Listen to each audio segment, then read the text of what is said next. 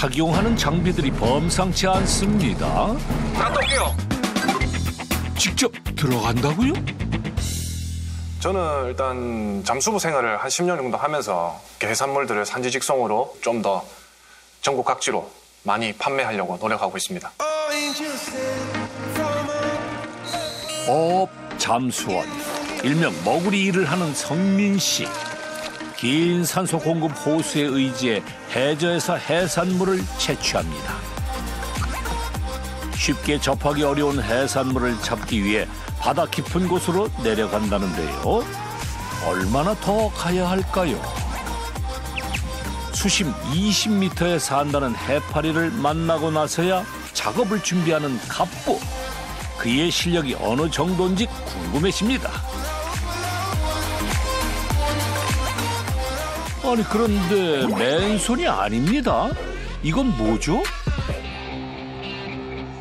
모래에 숨은 어패류를 찾을 수 있도록 도와주는 물총이랍니다.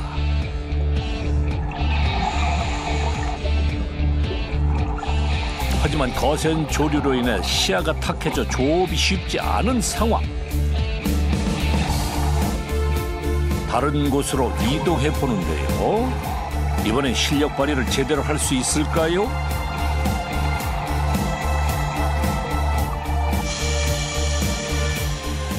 쏙쏙 찾아내는 모래 속 바다 보물들. 잠시 감상해 보시죠.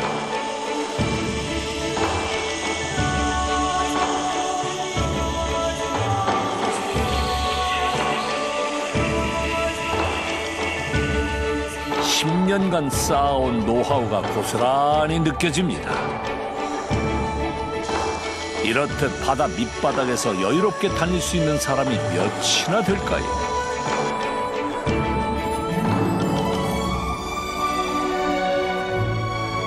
바위 틈에 숨어 있는 문어까지 실력만큼은 가뿐해요.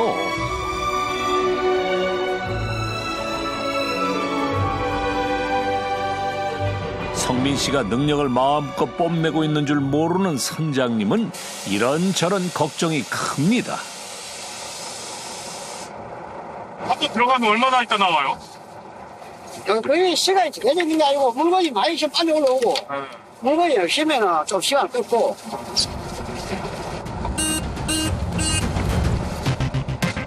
무슨 문제가 생긴 걸까요? 선원의 움직임이 분주해집니다. 거울이 올라온다. 아, 거울이 올라온다. 바다에 들어간 지 40분 만에 나온 성민 씨. 한 번 물에 들어가면 기본적으로 1시간 반 정도 조업을 한다는데요. 오늘은 바다 사정이 좋지 않아 좀 일찍 올라왔네요.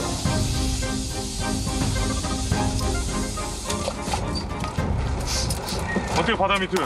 예? 어, 바다면 어때요?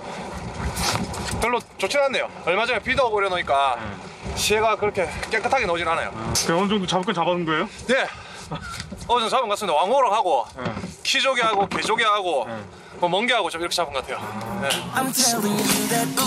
과연 그가 채취한 해산물의 양은 어느 정도나 될까요?